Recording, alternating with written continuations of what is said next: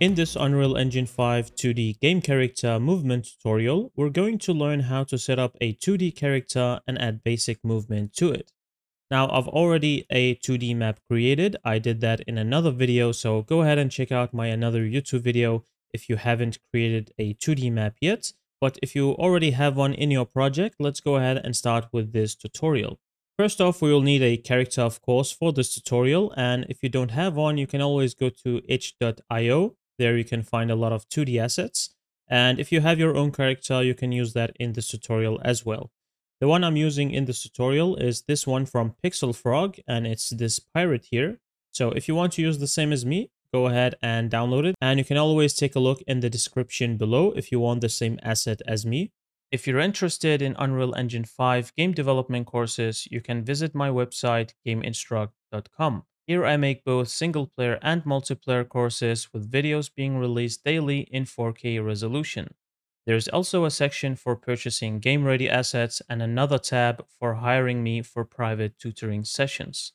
I'm available 24 7 on my Discord server to help you out, and all of the links are in the description below. So here is the file I've downloaded. It's the Treasure Hunters, and inside of here, I'm going to use this one called Captain Clownnose you can see the sprite of as well and here and the one with the sword. So i'm just going to use this one. You can use again any sprite you want. It doesn't really matter for this uh, for this tutorial. But what i want you to do is here in the assets folder i have an assets folder. So you can create a new folder inside of here. And again i'm just doing this to stay organized. You can create a folder wherever you want. And for this folder i'm going to call it characters. And it is inside of here where i want to import my files so the first thing I want to import is this one called idle. So go ahead and click and drag this into here. And now it is imported. Now, if you have a texture where you have all of the characters like this uh, together, I can show you actually how you can extract them. But for now, I'm just going to import this character here. So the idle animation, and I need the run animation as well. So go ahead and import this. And the next thing is the jump animation. So jump sword. And that is all that we need right now. So we have an idle animation, we have a run animation, and we have a jump animation. Now, if you also have a texture where all of the characters is in the same texture, and I want to show you an example of this because this is really common. So if I just go into uh, one of the other packs I have downloaded, this is actually how it's set up. So if I go to main characters, I go to the Ninja Frog, for example, you can see all of the textures are actually inside of the same image. So I'm just going to import this to show you how to deal with something like this as well. Now, when you have imported them, if you double click on the images or the textures, you can see they are blurred out and it doesn't look like pixel art because this looks good for 3D games, but it doesn't look good for 2D games. So this is an easy fix. You basically have to right click on it and go to sprite actions and then apply paper 2D settings. And it will automatically remove all of the blur and it will look normal like pixel art. And you can see you have to do this with all of the other ones. So if I zoom in here, it is also blurry. So again, right click here, go to sprite actions and uh, not extract, sorry, apply paper 2D settings. Now, if you double click on it and take a look at it, now it looks normal. So to do it very quickly, click on the first one here, hold shift, click on the last one, right click, apply paper 2D settings, and everything is now fixed. Go ahead and save everything. Now I'm going to right click here and making a new folder and I'm going to call this one textures. I'm actually going to import all of this inside of here. For these characters, let's try to make them into an animated character because this is basically the goal here. So now let's start with the idle animation and I can show you how to do it with separate images like this and how you can do it with a, a, an, a texture that contains all of the images in one. So let's start with this one here. The way you do this is you have to right click here and then go to sprite actions and then create a sprite. A sprite is basically a static image in 2D. So if you go ahead and create it, as you can see here in my level, if I try to click and drag a normal texture, it doesn't work. It's going to replace actually my map with this guy here. So I'm going to click on Control Z. I'm going to delete this material it automatically created. Now, it only works if you actually drag a sprite. So not a texture, but a sprite. So if I drag a sprite inside of here, now it is behind of my map, so I have to drag it in I can just do that here in the details panel where I can write the Y as zero and it is over here and I can drag this guy up here. And now you can see I can have this static image in my level as well. A sprite is simply just a static image in 2D, just like these trees, they, they can also be sprites and you can add them to your level. So let's do that with all of the other ones. So again, I'm going to select the number two to number five, hold right click and go, go to create sprite. So I'm going to create a sprite for all of them. Okay, so now with those sprites created, I can now hold or click here and hold shift and click on the last one to select all of them and then right click and create a flipbook. And a flipbook is an animated asset. So a sprite is a static asset you can place in the world and a flipbook is an animated asset you can place in the world. So go ahead and create a flipbook and then I'm going to call this one FB for flipbook and I'm going to call this clown nose because this is what the character is called. And I'm going to call it idle. And here you can see it if you hold the mouse over it. You can also double click on it and you can see what it looks like. You can also change the frames per second over here and you can basically reduce the animation speed of it. So I'm going to set it to 10 instead of 15 and this is what it looks like. Go ahead and click on save and close it down. Now I'm going to show you how to do it with this one. Again, we already applied Paper 2D settings, so I'm basically going to right click here and instead of creating a sprite, you have to extract the sprites because you have multiple images of this character in one texture. So you have to extract the sprite first. And here you can see we have a new window. If you zoom in, here are all of them. So over here in the sprite extraction method, you have to set it to grid. And then you have to define the cell width and height. So you basically have to divide them equally. So here it is 32 pixels in the cell height. So I'm guessing it is 32 pixels as well in the width. So we have to guess here. If it is not 32, it is 16. If you're not 16, maybe you can try like 42, 46. You know, you have to just give it a try. But a good uh, try is the same number as the one down here. So you can see they are now divided equally. 32 by 32 pixels are the sizes of those textures or this pixel art here. And then go ahead down here and click on the extract button. Go ahead and click on extract. And now you can see it has created sprites for all of them. And again, you can hold click on the first one, hold shift, click on the last one, right click, and then create a flipbook for this one as well. And now you can see I have this animated character working. If you want to increase the frames per second to animate it faster, you can do that as well by setting it here. But now you can see these are the two methods you can do it with. Now I'm going to delete this character because I actually don't need it for now. So I'm going to hit delete. It was just for showing you. I'm going to do it for the rest of them now. And I'm going to do it a lot quicker because it's the same method. So for the jump here, right click, sprite actions, create sprites, and then again, select all of them and then create a flipbook. I'm going to do that for the last one here, the run. So right click, create sprite, and then select them again, right click, and create a flipbook. And this one I'm going to call FB clown nose run. And the other one I created here, I'm going to call flipbook clown nose jump.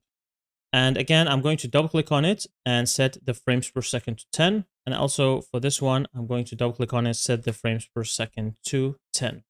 And now we have it. So I'm going to select all of the flipbooks and just drag them out of the textures folder because technically we don't really need all of this anymore. We're not really going to touch it. So I like to have it in a textures folder just to stay organized and I can only look at those that I actually need. Now that we have the character assets that we need, let's go ahead and work with blueprints. So let's go ahead and, and code this character and make the movement. So to do this, here in the content folder, I'm going to right click now, make a new folder called blueprints. And inside of here, usually for games, when we start making games, you have something called a game mode and a player controller. So let's go ahead and create those. Let's right click here and create a new blueprint.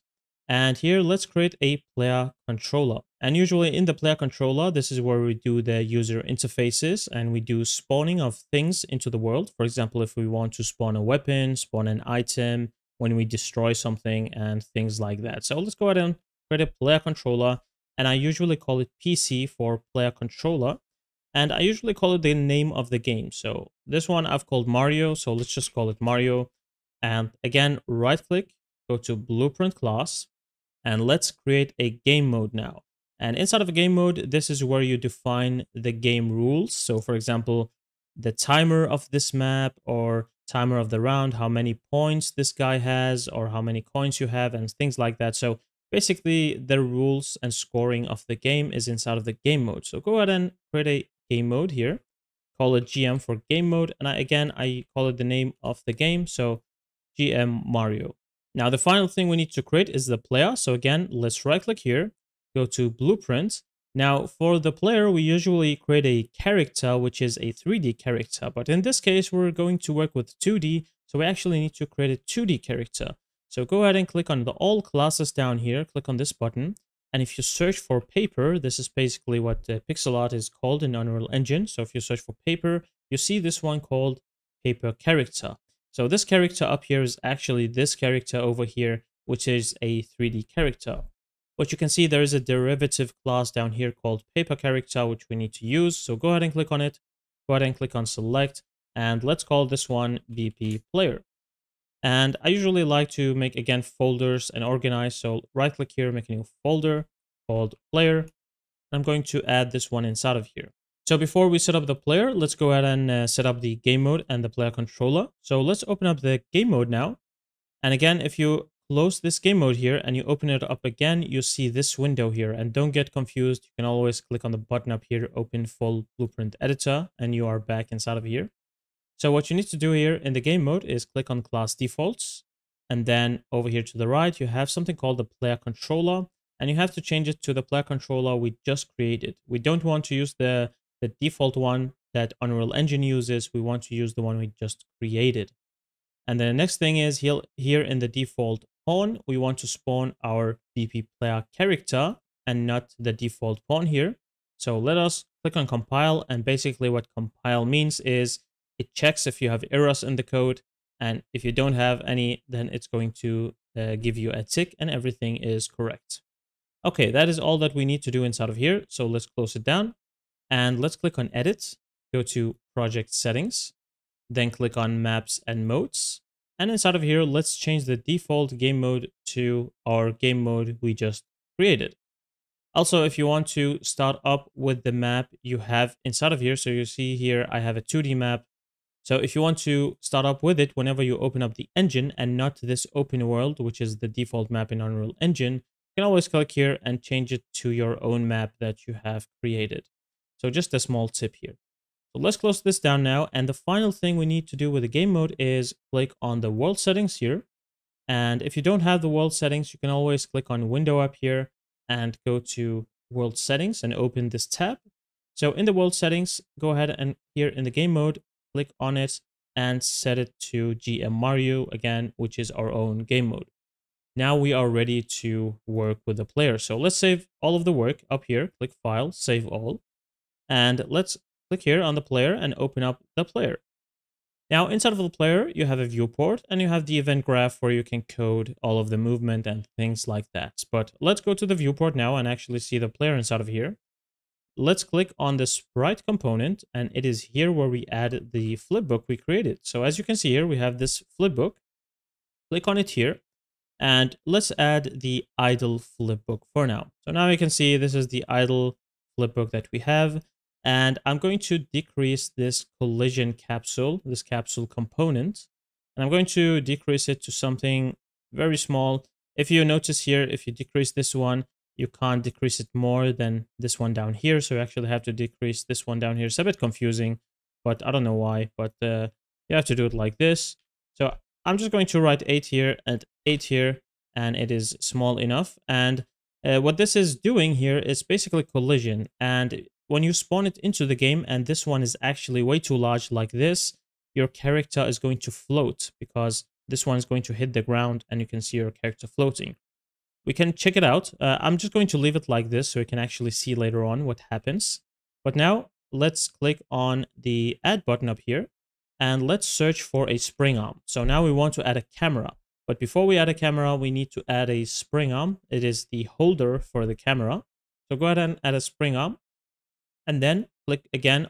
Now click on the spring arm and then click up here and search for camera. go ahead and click on camera and add it as well. So now you have the spring arm and then you have the camera. Make sure the spring arm is not inside of the sprites because else uh, you're going to have some bugs here. So basically your spring arm needs to be outside of this sprite here. So if it's inside, you can basically just click and drag it out here on the capsule and it will be outside. So now we need to position this camera correctly. So clicking on the spring arm, I'm clicking on the E uh, on my keyboard, E button to rotate. And you can also select the rotation tool up here if you wish to. Go ahead and click here and rotate it 90 degrees so it is on the character and we can see the character like this. Now here for the spring arm, I'm also going to click on do collision testing and disable this one. And what the collision testing is, it's uh, used in 3D whenever you walk close to a wall, the camera gets pushed like inside so it doesn't go into the wall. And we don't really need to do that, uh, else we'll get uh, a couple of bugs doing this. The second thing is for the camera, you have to click on it and change the projection mode to orthographic because now we're working with 2D and not 3D, so we don't need perspective, we need orthographic. And what orthographic view is, right now you can see we are in the perspective mode. So this is what it looks like. It looks a bit weird. It looks like the trees are floating. But if you click up here, click on the right view, this is the orthographic view. So click on the right view, this is what it looks like. If your is if your um, view is looking like a wireframe, you can always click here and change it to unlit so it looks correct. And basically, this is what the orthographic view is. It's simply like a 2D view.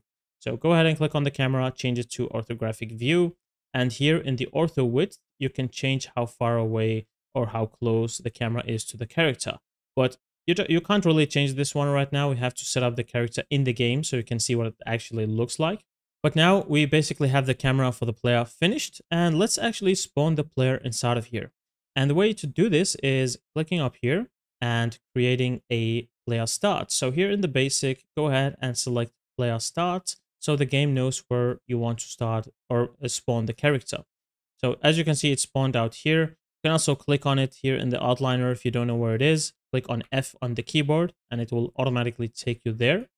Go ahead and drag it into here. I'm going to drag it here. I'm actually going to go to the perspective mode. It's a bit easier for me to work with here.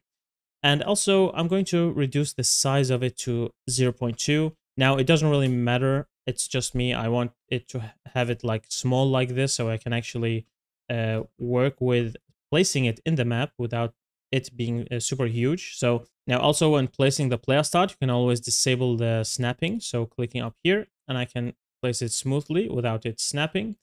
Also make sure that you don't place your player start inside of the texture like this because then it's going to have bugs when you add collision. And right now it doesn't say anything because if you click on play right now, you can see the player is falling through the ground.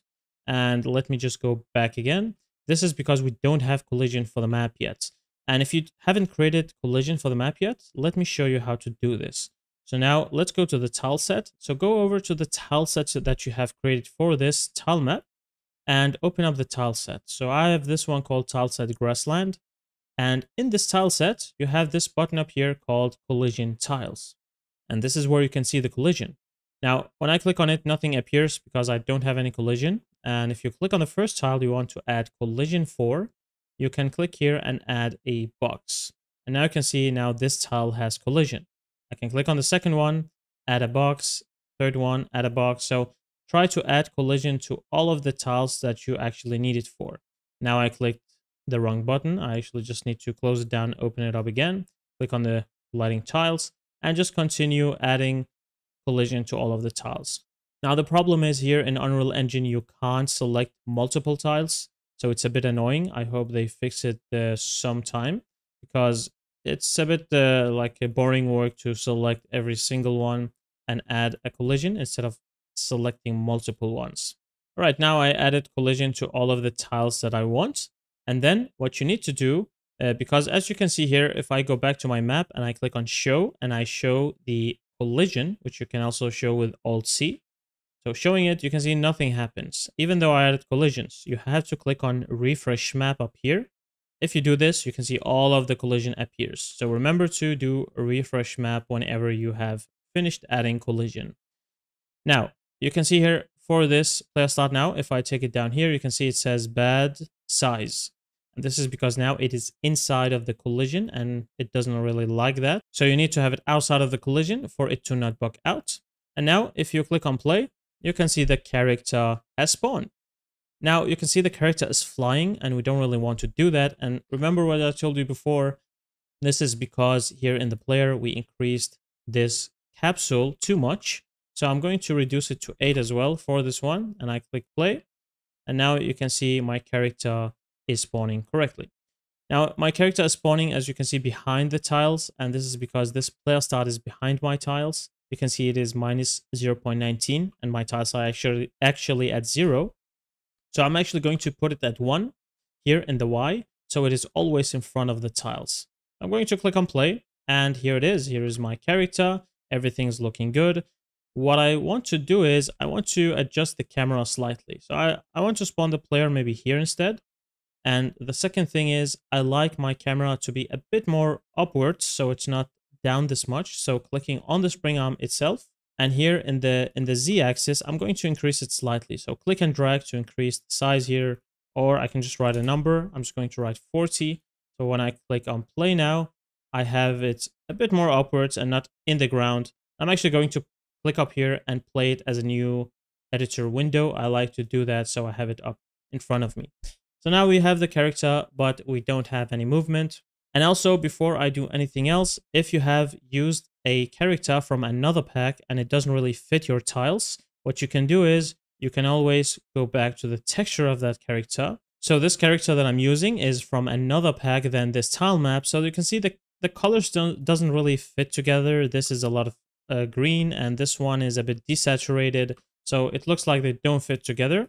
So the way you actually adjust this, if you wish to, you can drag a sprite. So this sprite, for example, and I can drag it here in the world. And then I can double click the same texture for it. So this one, Idle Saw 01 sprite, has this texture. So Idle Saw 01 texture. Double click on it and open it up. And inside of this texture, you can see some adjustments that you can do. Here, down here, you have some brightness, vibrance, saturations, and things like that. So for example, I want to increase the brightness. I think it's a bit too dark. So if I just uh, have it here in my view, I can increase the brightness to something like 3, 4. You can see you can adjust it. Uh, this is too extreme, so I think I'll use something like 1.8.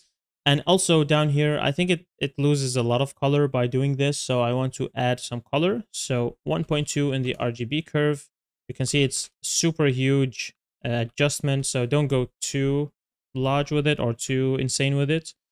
And as you can see, it looks a lot better. So before what it looked like is this one. So if I drag in the second texture, uh, the second sprite, sorry. So now I can see the difference. This is what it looked before, looked like before, and this is what it looks like now. And I think it fits a lot with the environment. Now you have to do this with all of them. And the easiest way to do this is if you select all of the textures, so go ahead and select all of the textures you need to adjust it for, and then you right click, go to uh, asset action, and then edit selection in property matrix. And then go ahead and click on adjustments. And inside of here, remember for the brightness, I set it to 1.8. And for the RGB curve, I set it to 1.2. So now it actually applied all of these settings for all of the textures that I have selected. Go ahead and click on save all and now you are ready to go. So let's go ahead and add the movement now for the player. Everything is working, but we are missing the movement. For the movement, to begin with, let's right click, make a new folder, and I'm going to call it input. Inside of this folder, let's right click, go to input, and add the first one called input mapping context. Go ahead and call it IMC for input mapping context. I'm just going to call it default. Now, inside of this mapping context, we can click on the plus up here and clicking on the small arrow to see what we added. Now, inside of here, you can see you cannot select anything. This is because you need an input action as well. So let's minimize this for now. And let's right click here, go to inputs, add an input action now. So these are the two we're going to use. So you have one mapping context, and then you have multiple input actions. For example, hitting spacebar to jump, clicking E to interact, hitting the uh, mouse one button to attack, and things like that. So clicking on the input action, call it IA for input action. And I'm just going to call it for movement because this is what we're doing. So the uh, WA is the movement. So go ahead and double click on this input action. And the only thing we really need to do here is the value type. We need to change it to an axis 1D because we need to move to the right and the left. So we need some movement. This is one axis. So basically, if you click on anything inside of here, uh, if I just add something, add this flipbook, if I click on it, you can see we need to move on the x-axis. So the red arrow here is the x-axis. So this is just an axis 1D. We just need to move along this axis. So go back to the inputs. Now for this input action, let's add it to the input mapping context. Let's click now, and now you can see we can see it here. Go ahead and click on it. And again, click on the small arrow to see more here. So to add a key, you have to click on this tab here. And the first key I want to add is D to move to the right. So I can click on D and then I can find the key here. Now it is inside of here, but as you can see, it is a bit difficult sometimes to go through all of this. So the easiest way to do this is actually clicking on this icon and click on D on the keyboard and it will assign it to the key that you have clicked. So click on this plus again. I'm going to add the A key. So clicking here, clicking A on the keyboard, and we're finished here. So here in the movement, we can press D to move to the right, and we can press A to move to the left. Let's close everything down now, and let's go to Blueprints, and let's open up the player that we created. Now, inside of the event graph, let's delete everything for now. I like to start from the beginning, save everything here. So to begin with, let's right click and search for the begin play event. So this is the simplest event in Blueprint and it basically tells you what should I do when I begin playing the game. Let's right click here and now say get player controller. We need to get this player controller. So if you click on it, now you can see this is the player controller. This is the default player controller in Unreal Engine. And we don't really need to use the default one. We want to use this one that we created earlier, this player controller called PC Mario. And the way you do this is if you drag from here now and you say cast to. So this is how you communicate in Unreal Engine with other blueprints. So cast to, and then you have to call it the same name as what you called it. So I called it PC Mario. So you can go ahead and click on it here and then connect this. So now what I can do is from this pin, I can use anything that is inside of this blueprint. But uh, what we need to use is something called enhanced input system. So if you just search for enhanced, it's a super long name. Enhanced input local player subsystem. I never remember it. So I just write enhanced and you can get it here. Now for this casting, if you have watched my courses or tutorials, I don't really like them because they create hard references which slows down your game when you open it up for the first time. And you can improve this by creating blueprint interfaces. Now, this tutorial is not really about blueprint interfaces. You can watch one of my other videos if you wish to improve this here. But nothing wrong with this code, so let's go ahead and continue.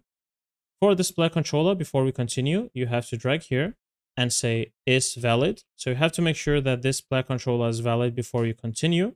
So go ahead and select this one and now it is automatically connected. And also for the enhanced uh, local subsystem here, you also have to drag and say is valid. Go ahead and select it and connect it to the is valid up here. So making sure that the player controller is valid and making sure that the player subsystem is invalid too. Else, sometimes you're actually going to get a bug if you click on play and play the game. Now, when you make sure all of this is valid, you can drag from here and say add mapping context. So now you can add the mapping context. And then you have to select, remember to select which mapping context you're talking about. And I'm talking about this one. Now that we have added the mapping context, let's go ahead and start with the movement. What you need to do is you need to right click here and then you have to search for the for the input action that you created. Now, if I go back and I take a look at this input action I created, I called it IA movement. So you have to write the same name as what you called it. So if I open this up again here and right click and I search for IA movement, I can see it here and I can select this event. So now you can see it creates it as an event. So remember you have to uh, you have to uh, call it or write it as you called it here in your own input action. So now that we have it, I'm just going to drag and say print string. And a print string simply prints a message to the screen.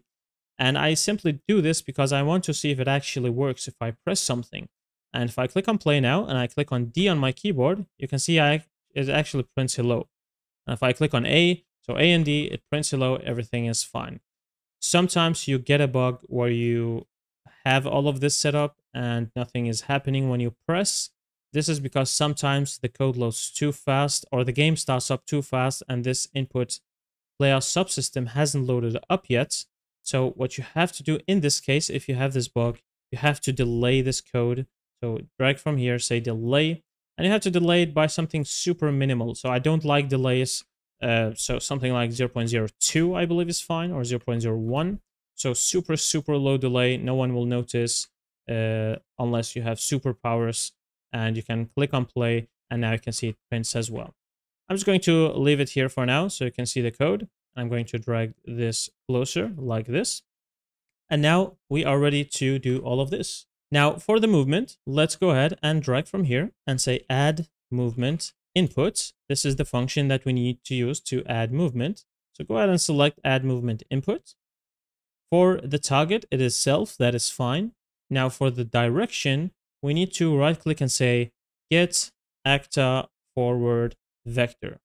Getting the actor forward vector, go ahead and connect this. And for the scale value, it is simply this action value here. So we can click and drag and connect it here. And actually, we are finished with the movement. So basically, we need to do the animation. So you can see how quick it is. As you can see, I can move However, you notice when I click on A, I actually move wrong way. So if I click on A, it actually moves to the right, which is not correct. So let's go ahead and fix this. Let's open up the mapping context.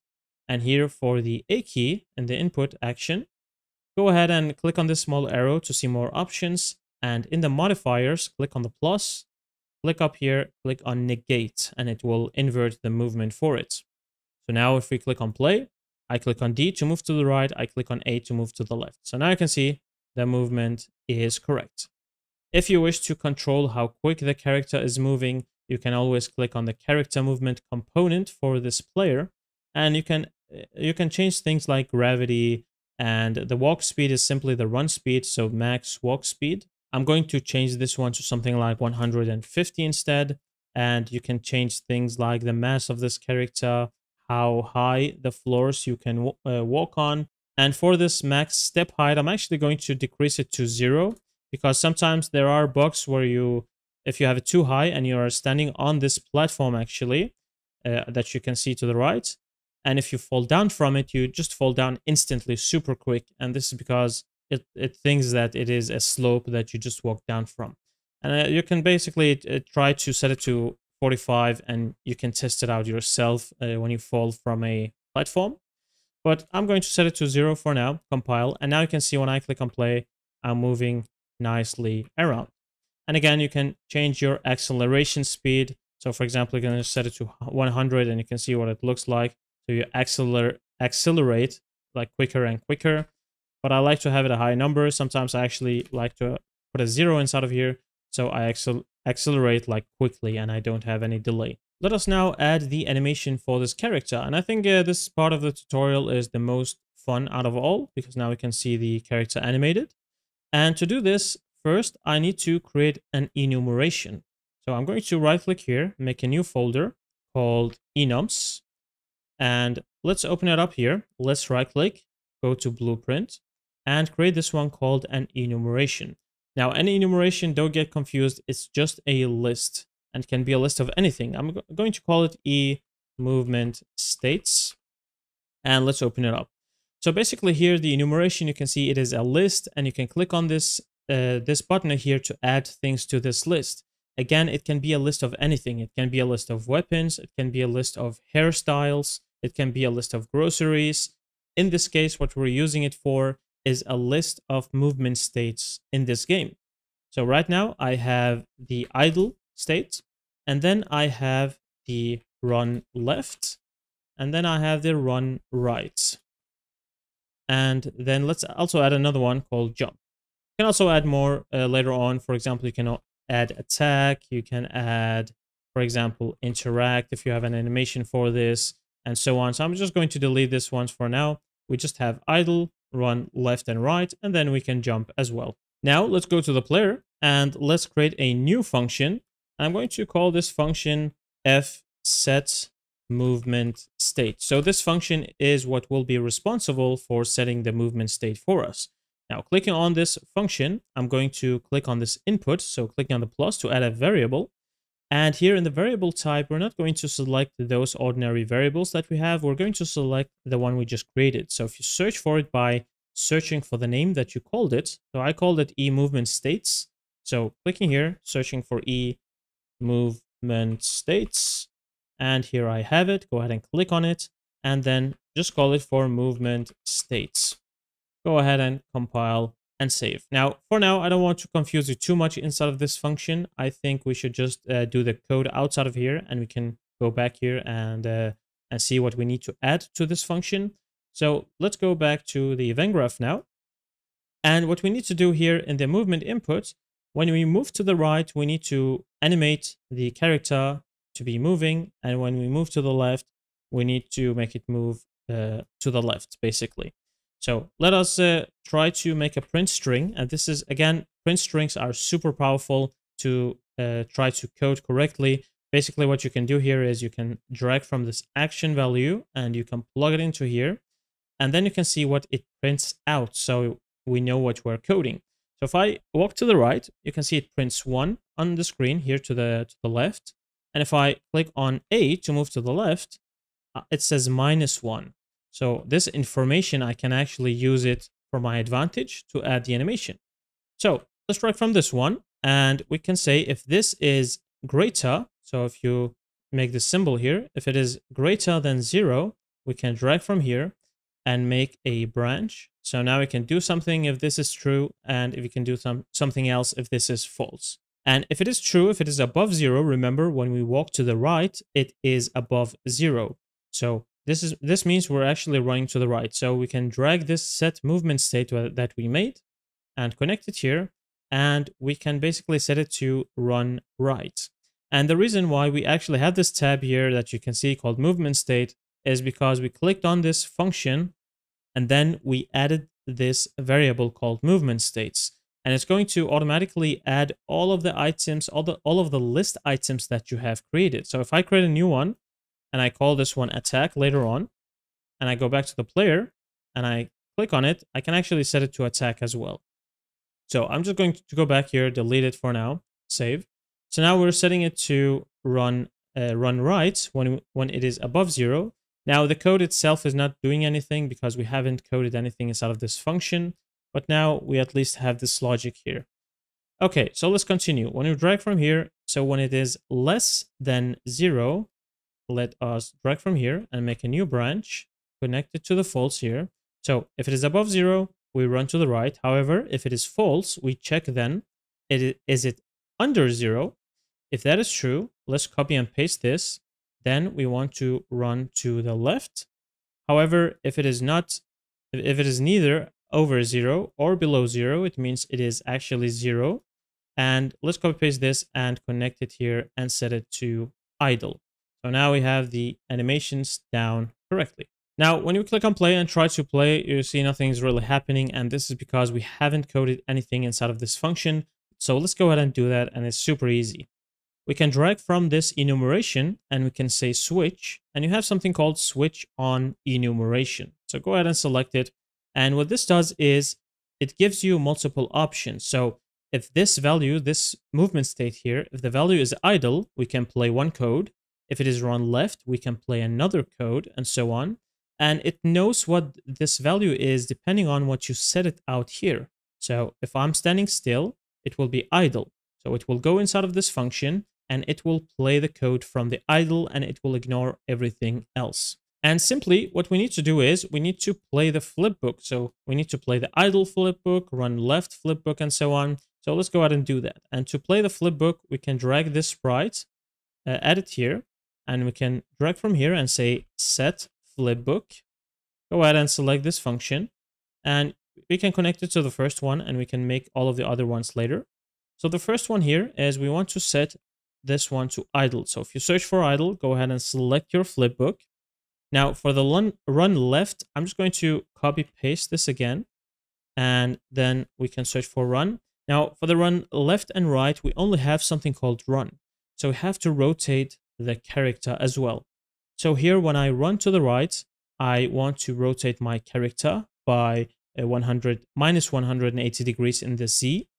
So if I just add my character, you can see why we are rotating through the Z axis. So if I just add this flipbook into the level, if I click on it and I hit E on the keyboard, you can see here it is actually the Z that we are affecting. The blue, the blue color here is the Z, val uh, Z axis. So it's the Z axis when we want to run left and right. So this is the one we are rotating. So let's go back here and let me take this sprite again, copy paste it here, or you can simply just drag it from here. That is fine. And then drag and say set relative rotation and go ahead and select this one called set relative rotation, connect it, and then let's set it to minus 180 because this is how we want to rotate it. However, whenever we want to run right here, so running left, we want to rotate it because again, just to show you to not get you confused, when we run left, we want to rotate this by 180 degrees like this. However, when we run right again, we want to set it back to zero here. So unrotated. So let's do that. Let's just copy all of this, copy paste it, go ahead and connect it here and set this one to zero again. So we rotate it when we run to the left. However, we rotate it back when we run to the right. Now here for the jump, let's copy this again and you can connect it and again select the jump super easy. If you want to improve this code, you can actually delete all of those sprites and you can just connect this one to all of the targets here instead if you wish to. You can do the same one or same thing here You can basically just connect it here, delete this one, and have it a bit cleaner like this. So now when I click on play and I move to the right, you can see it is animating correctly. When I move to the left, it is animating correctly as well. Now the problem is when I stop, uh, you can see the idle animation is not playing. And the reason for this is, is because if I go back here and I take a look at my input action for the movement, this is only played whenever you press the button.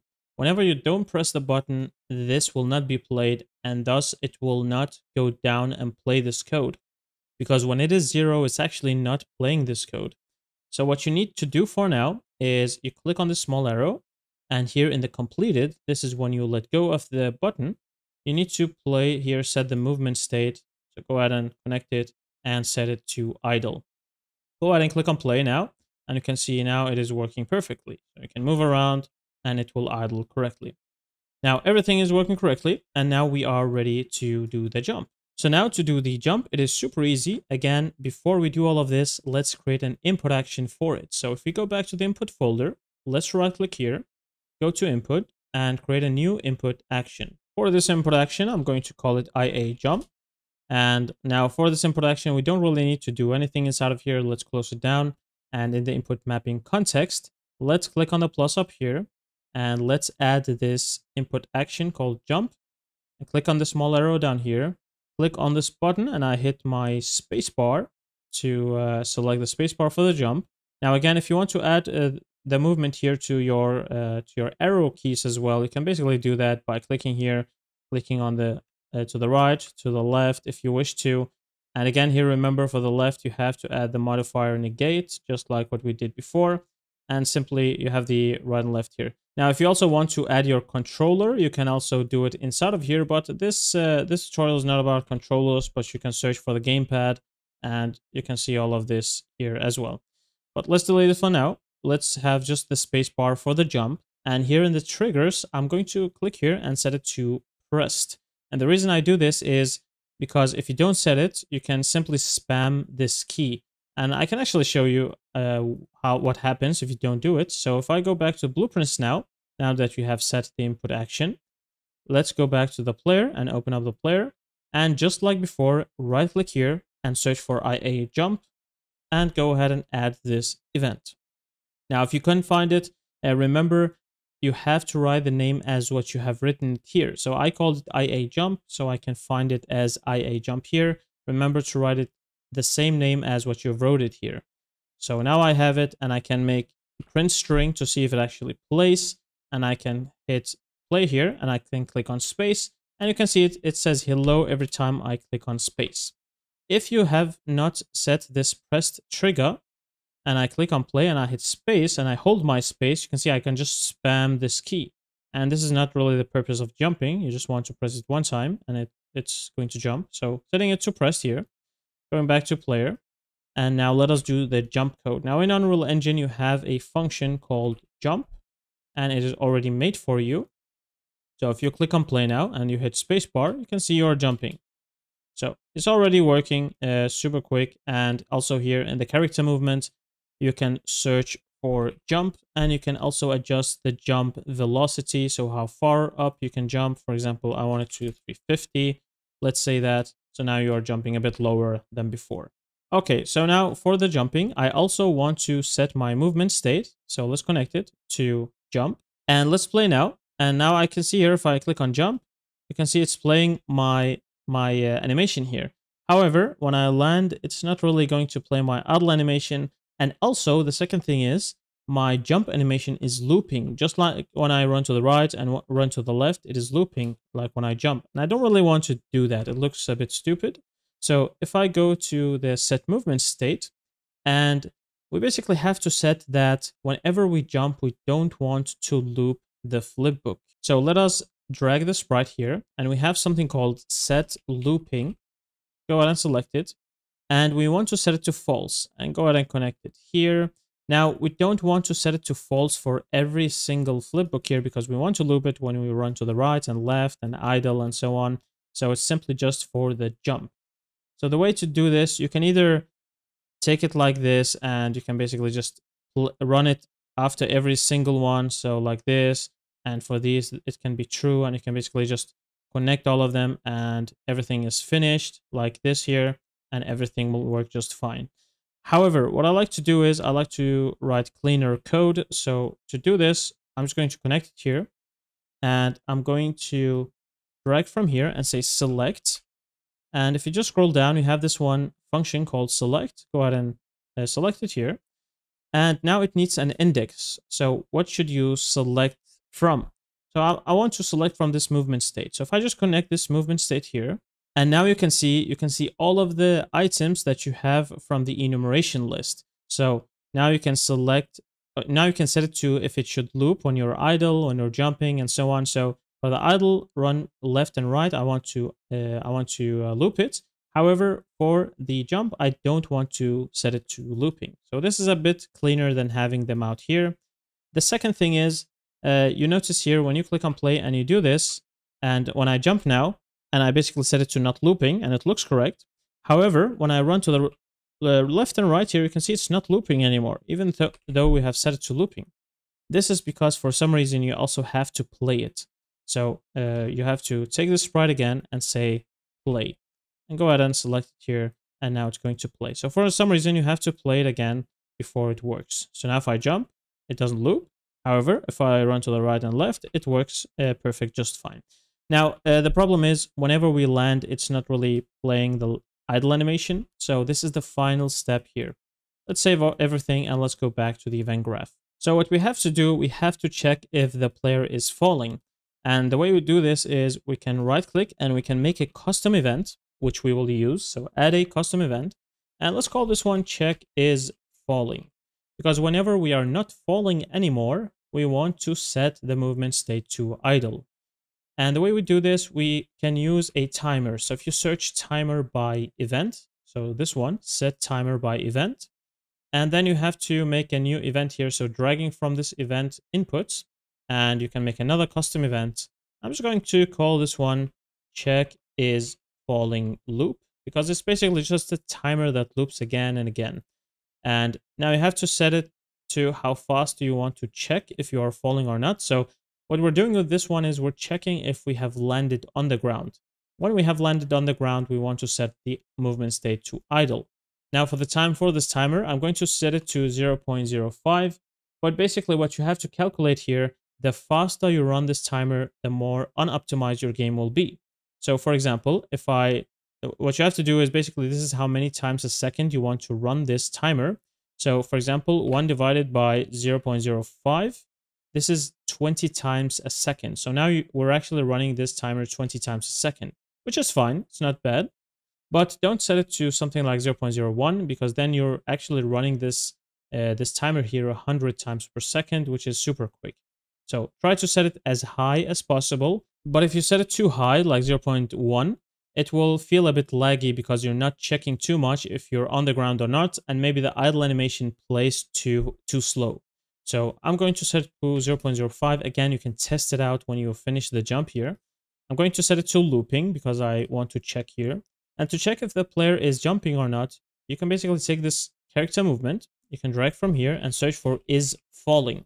So we're basically checking if the player is in the air or not. Then we can drag from here and make a branch. And when it is true, if we are in the air, we don't really want to do anything. However, if we have landed on the ground, we want to stop this timer. So uh, we don't want to run this forever. So let's right click here first and promote this to a variable. Uh, we need this variable to stop this timer. So I'm going to call it check is falling timer, if I can spell here, falling timer handle. And if you hold the mouse over it, it's basically saying that this is a timer handle. This is why I called it timer handle. And you can drag here. And you can drag from this one and say clear and invalidate timer by handle. So this is how you stop this timer. Then after doing this, let's go ahead and set the movement state to idle. So what we're doing is we're checking we're falling and we're basically doing that 20 times a second right now.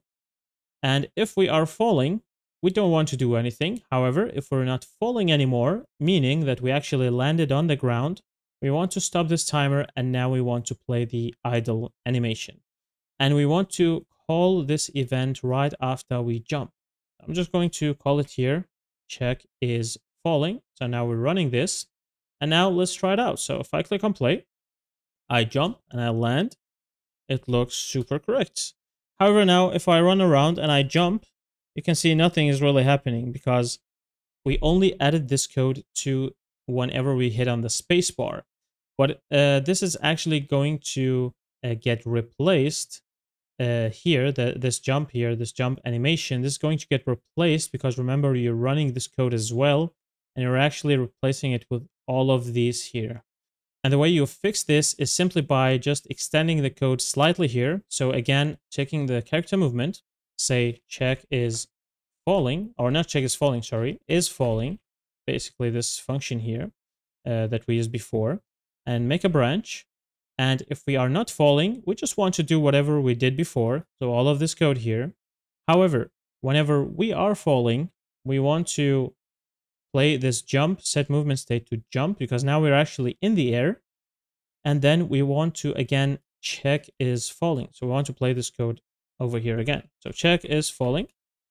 And now everything should work just fine.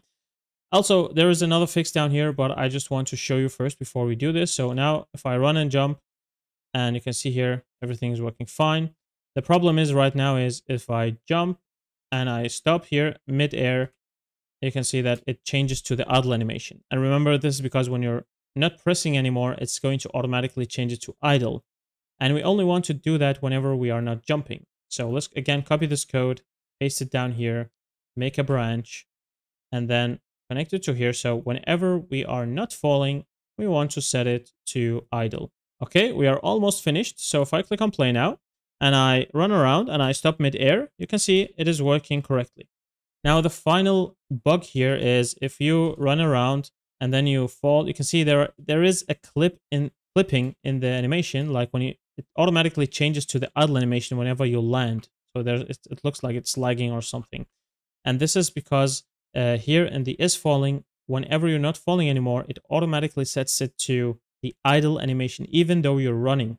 So it looks like it changes to the idle animation slightly, and then uh, it changes back to running and jumping and all of that. So this one, this code here, we only want to idle when we're actually not running.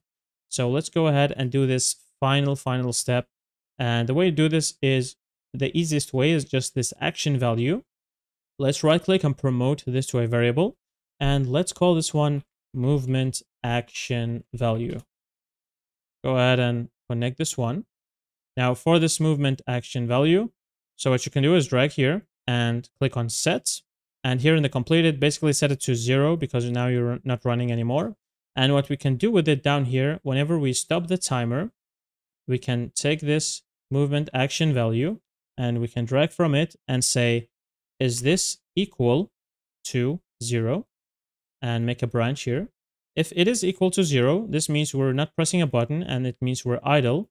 Then we can play the idle animation. Click on compile, click on play, and now everything should work just fine. So you can see I'm running. It's not really lagging in the animation. I can change the direction when I'm jumping. You can see I can actually change direction during the jump, which is nice. And again, you can control all of this control in the air, like when your character is jumping, how much can you change uh, the direction and things like that. All of it can be found here. You can see the jumping and falling, the air control, the air boost multiplier. So you can play with all of those values if you wish to. Now you can see the jumping is working. We can jump around. No, nothing is bugging out and everything is working just fine. So that is how you do the Unreal Engine 5 2D game character movement. And I hope uh, this tutorial was useful for you. Again, please write in the comments below if you need any help or if you need to see uh, some tutorials that you wish to see here for this channel and I will create it for you. And also uh, remember to visit my website on gameinstruct.com if you wish to see more complete uh, tutorials or courses for game development, both 2D and 3D. Uh, and remember also to subscribe and like this video if you wish to see more content of this kind. So I hope this helped you and thank you so much for watching this tutorial and I hope to see you in the next one.